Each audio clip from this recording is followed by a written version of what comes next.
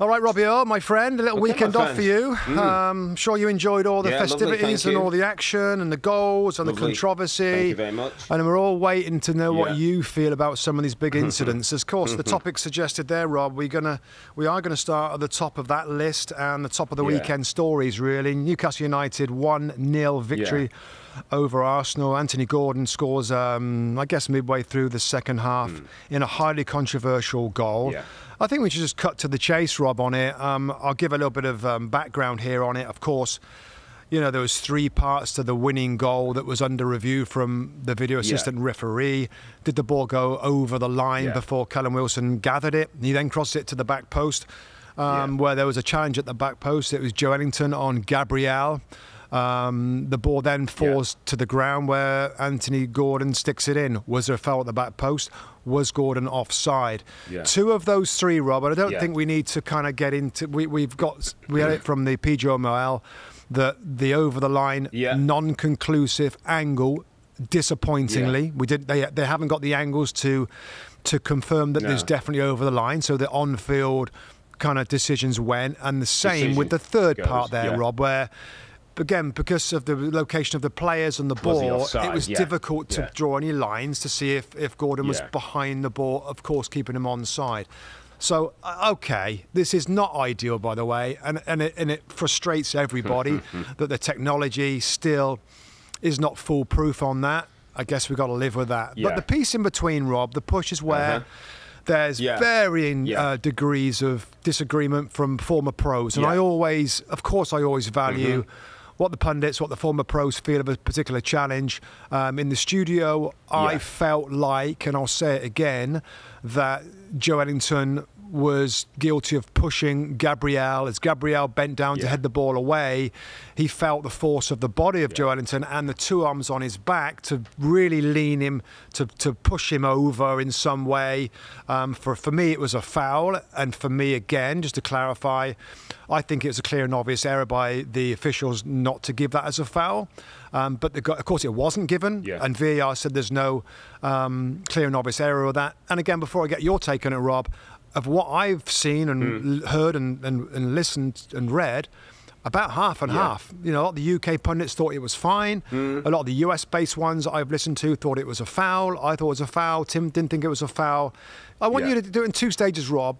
If, if it was a clear and obvious error, I want your answer on that. And then if we if we were re-refereeing Yeah. it, what would you have given it? You know, if you're the referee in that moment. Okay, so is it a clear and obvious error? I believe it is. Uh, why I say that, Robin, I, I try and always try and put myself in those situations. I'm, I, I'm thinking, uh, I'm, I'm Joelinton in that situation, and that ball's coming across, and I want to head it in, and I kind of see that if I don't get, Yeah. If I don't nudge Gabriel, Gabriel's going to head that ball away from me, right? It's a great shot. So I'm going to try and nudge him in a way that's just going to ease him off, off the ball. I'm going to get the header and we're going to score. It's a great shout. Now, because of that push, because what happens with it, and this is where I think Joelinton doesn't really head the ball in the end, Rob, 'Cause he because can't get to he, it, yeah. realises that the ball's. He can't get to it because Gabriel's there. The ball's dropping in front of him. And if anything, there is a question, and also, I I don't even want to throw any more around this VAR, but there's argument that it maybe hit his arm. It hit his arm, Rob, before he fell to, to Hmm. Gordon, before he smashes it in. But let's leave that to aside Yeah, for another yeah, day, another yeah. VAR discussion. Let, us just go. So, I, for me, I'm thinking, I know I've been Joelinton in that situation. I realise ah, I'm not going to get this unless I, I'm going to nudge him and I'm going to get my hands away. I'm going to make not make it not look too obvious, and it's a foul. It's a foul on the defender.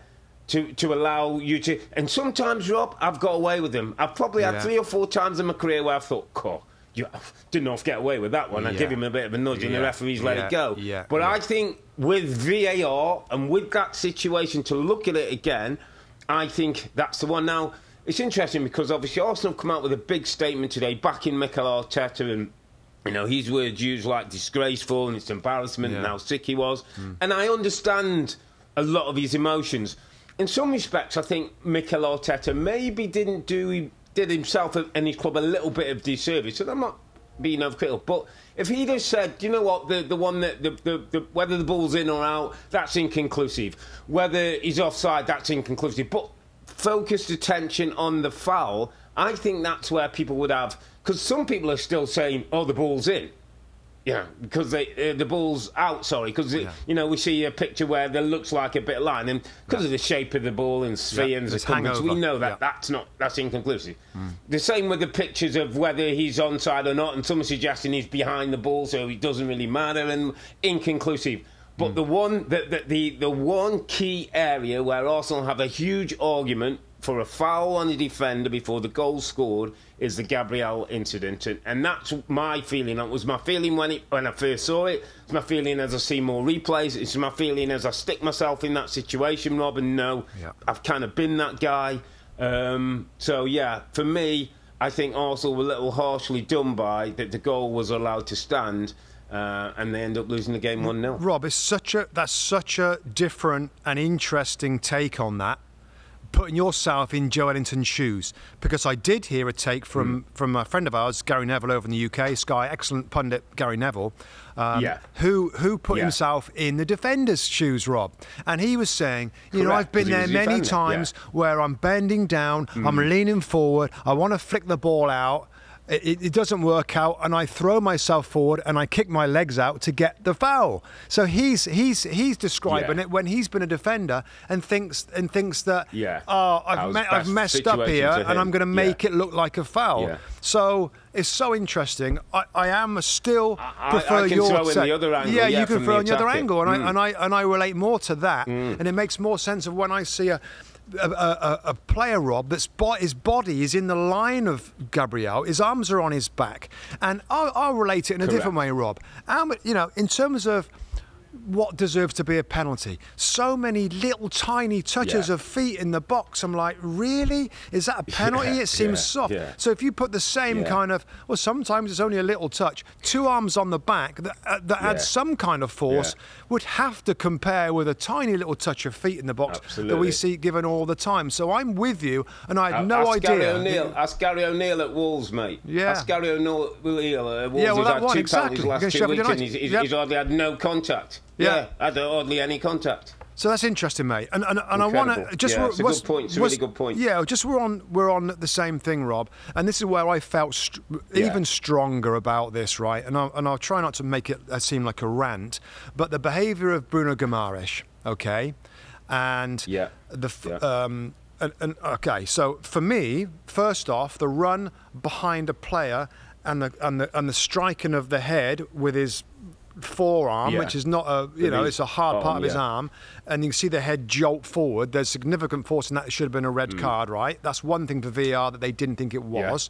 Yeah. Um, and then there was various others where he remember when Jorginho played the ball and he shoved him deliberately to the he ground. Pushed him. He pushed him, which he did down. get a yellow card. So two things, Rob. Yeah. The, the, obviously, I want your opinion on whether you think it's a straight red from VAR on on the on that elbow to the head. Also didn't we used to see yeah. a few years ago, Rob, where the fourth official, where the referee's assistant with a flag would sort of flag it, say, "Well, well hang on a minute, referee, he's just cuffed him in the head." Yeah. Like, Have you seen that? I've seen yeah. it. Let's have a chat, and, and, the referee would go mm. over to him and he'd give him a yellow or a red card based on one of his assistants and what they'd seen. That absolutely is part of the laws, and, and the officials can get opinion mm. off everybody around there.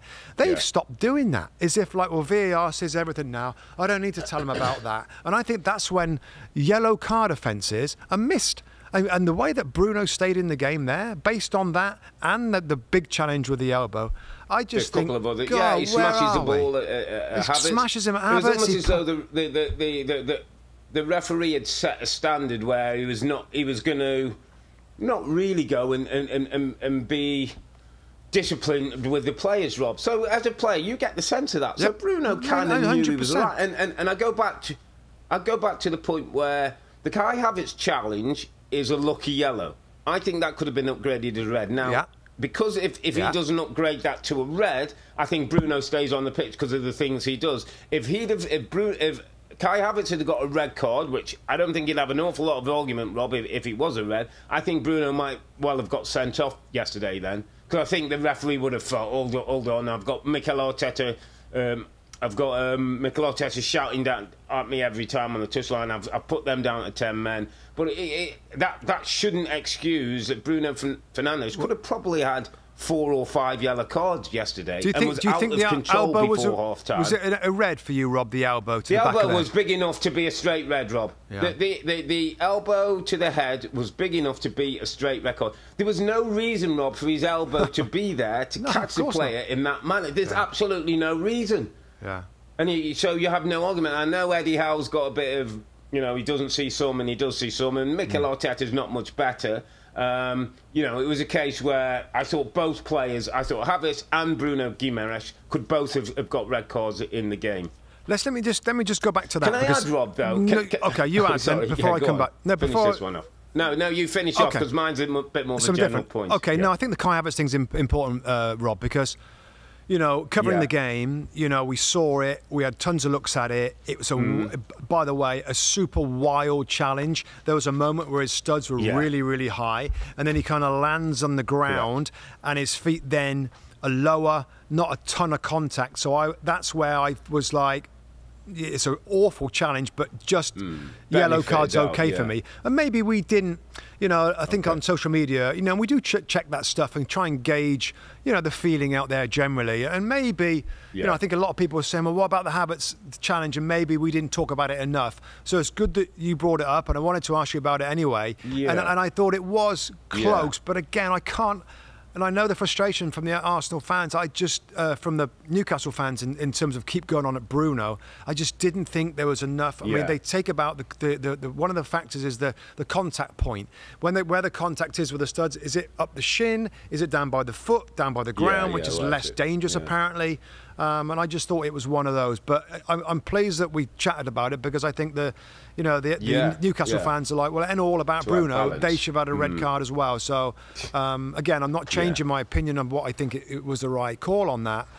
But yeah, Mm. m- maybe it, it was closer, and you're sounding like you thought it was closer to a red card, card than Yeah. maybe I did. I thought it was close to a red card. I thought, Yeah. thought he was a little bit lucky, Yeah. um, and I just didn't. I didn't know why he needed to do it or what. What you know, and His head went. Of blood. It was a crazy the challenge. place I went know. Yeah, Yeah. there was there was things, and and and leads me to my point, Rob. And and, and as a neutral, sitting on my sofa with my cup of tea, watching you, you Bex and, and, and Tim doing your stuff and, and watching the game, and do you know what, mate?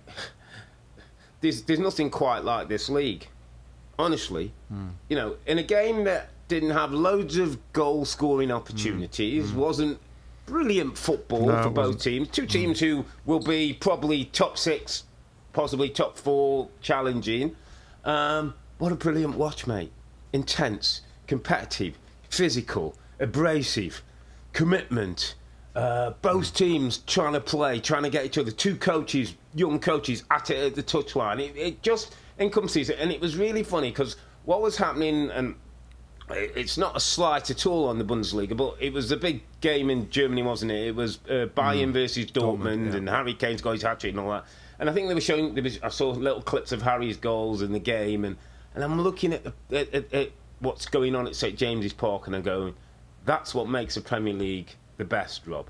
There's that. There's that fight, scrap. You know, against two teams who really want to play, who can play, who want the ball, who can create chances.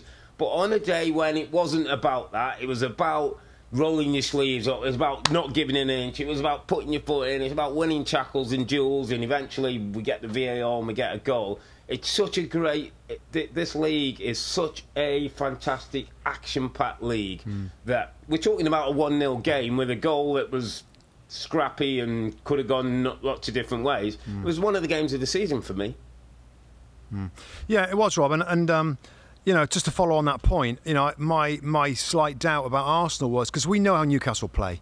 That's no surprise. That atmosphere, that energy, Hmm. Yeah. that physicality. I mean, Joelinton. I mean, I wouldn't want to play against him in midfield. He, he's a he's a big guy. They got they got tons of physicality way, everywhere. Declan Rice is a beast in another Oh. way as well. He's a football beast, by the way. Declan Rice. He was incredible, I mean, his energy, Rob, is incredible. His energy is incredible. And that's going to be, I think that's going to be his role, Rob.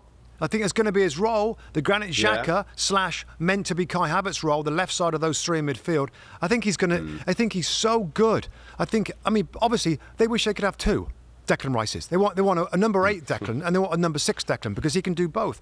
But given that left-sided situation and how good he is getting forward, Yeah. the energy he's got, driving the ball forward, helping defensively, uh, Jorginho, who, who needs that help in midfield, he was Yeah. absolutely perfectly f- b- good. But I just wanted to go on, Rob, and credit Arsenal.